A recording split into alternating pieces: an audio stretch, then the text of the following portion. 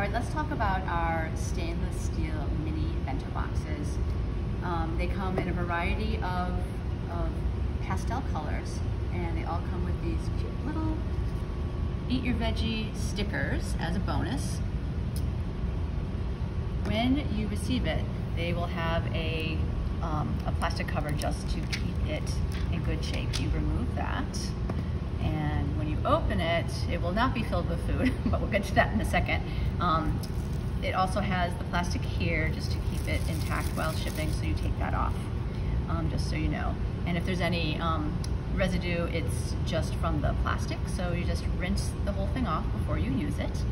And this is uh, to show the portions, what's inside. Sometimes it's hard to see um, online so you can see they're meant to be portions for small children.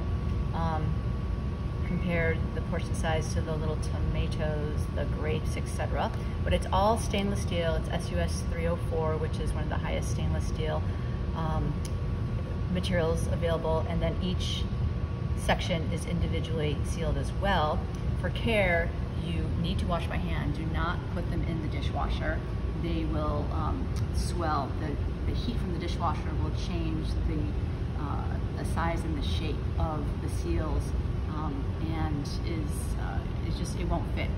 So easily wash by hand, rinse it out, and you can send your little ones um, out and about with their beautiful Kinsho Bento stainless steel lunchbox.